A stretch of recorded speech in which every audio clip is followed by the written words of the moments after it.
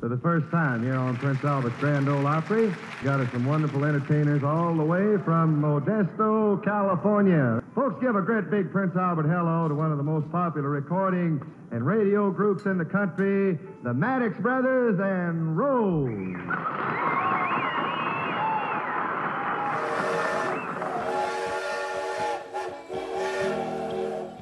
Rising from the cotton fields of Alabama, they would become one of the greatest musical influences of our time.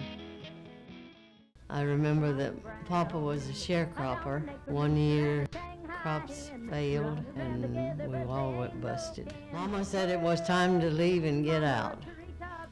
She was going to the land of milk and honey where you just reach up and pick gold off trees. Mama's been wanting to go to California all of her life because she'd read these dime novels about the Western romances and all of that stuff. Sold everything we had for $35. And we started walking from Alabama to California. There was uh, five kids from from uh, five years old to 16 years old, and mom and Papa. Was down around the railroad tracks, and there was a man and his wife. So they showed us how to ride the rails.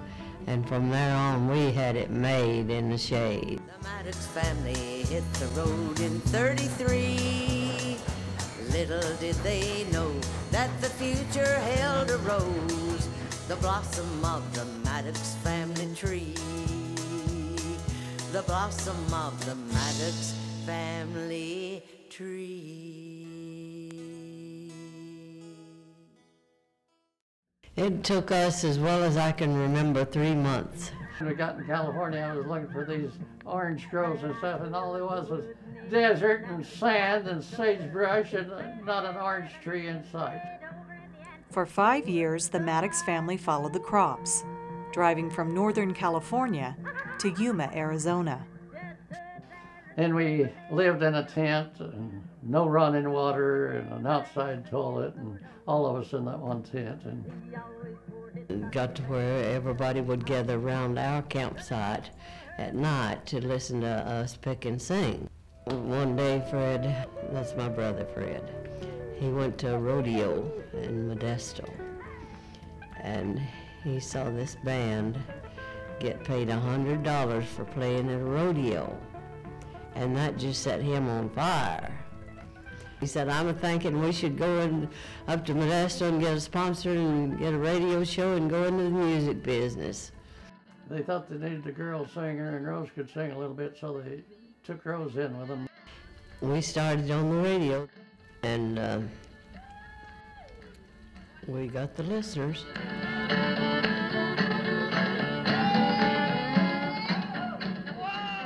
I mean, you know, the Maddox Brothers and Rose story is a writer's dream. You couldn't come up with a better subject than that. We'd show up in town in four big Cadillacs. All of us get out of them cars with them costumes, and, you, and everybody's eyeballs would fall out. Fred's invention of the slap bass style, Rose's unbridled voice, and the brothers' moving and shaking antics set the standard for other performers of the day, including the biggest rock and roll name yet to come. Elvis was an awfully nice person. Grand Ole Opry wouldn't let him on there. So Fred talked him into, talked the guys at the Louisiana Hayride into letting him on there.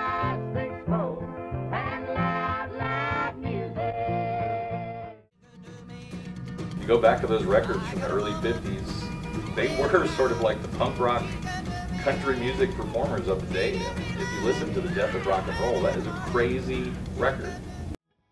After nearly two decades inspiring audiences across the country, the Family Act came to an end.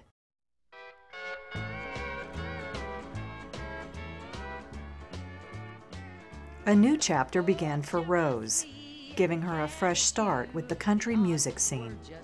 Dolly Parton said that she used to sit and listen to my recordings by the hours trying to sing just like me.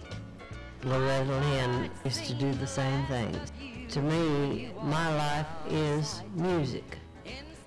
I've, I've done it all and ready to start over again.